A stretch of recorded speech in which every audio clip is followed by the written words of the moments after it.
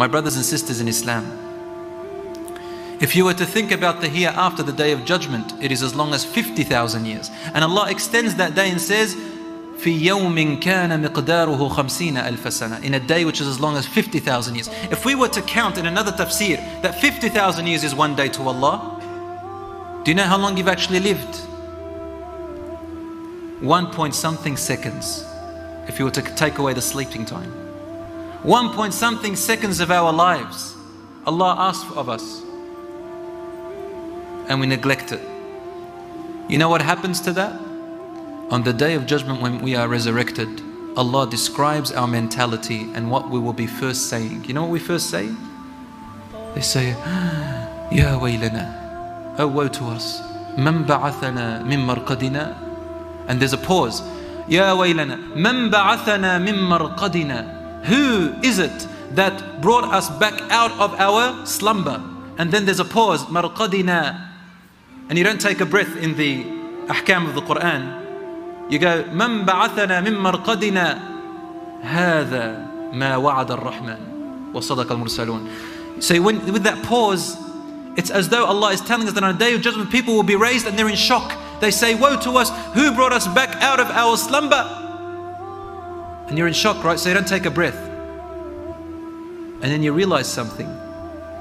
هذا This is what the Rahman, the most merciful, actually told us about and promised will come.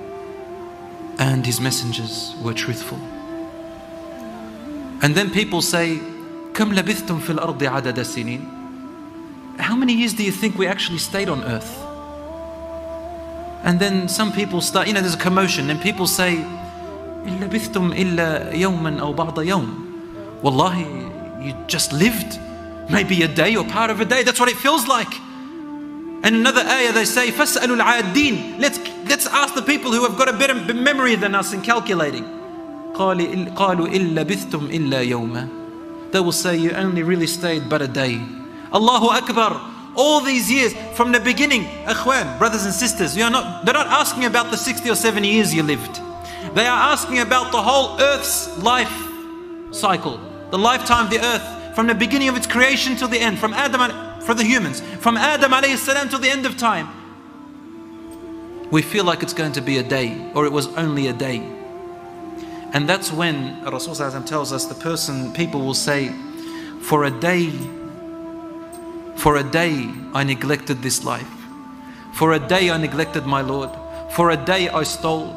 For a day I uh, looked, I went after a, a, wrong purpose. For a day I backbit. For a day I did this. For a day I fought. For a day I, I did all this haram. For one day I did all this just for a day? No, not a day.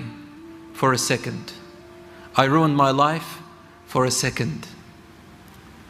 Allahu Akbar.